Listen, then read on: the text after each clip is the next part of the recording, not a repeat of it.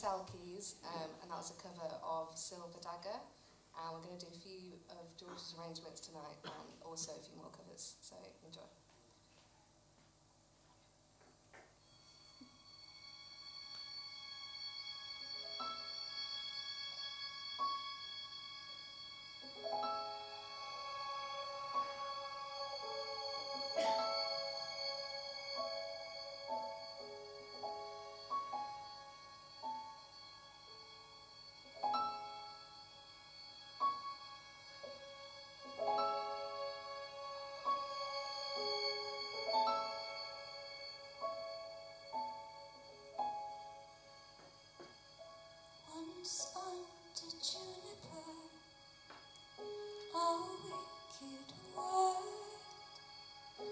and broderie, there came a bird.